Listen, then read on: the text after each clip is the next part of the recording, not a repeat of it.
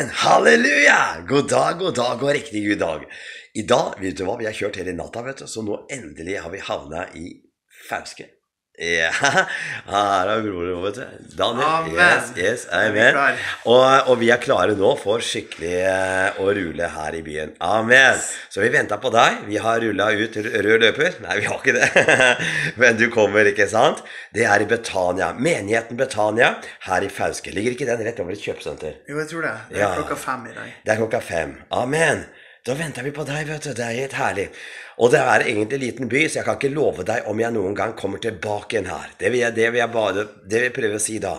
Hvis du egentlig vil møte oss, så gjør du det du kan for å møte oss i dag.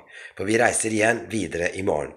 Så om vi kommer til neste gang, det vet jeg ikke. Så benytt sjansen i dag. Vil du møte oss inn på Betania lokale, så er vi klare for deg. Vi er der for deg. Amen. Vi sees. Halleluja.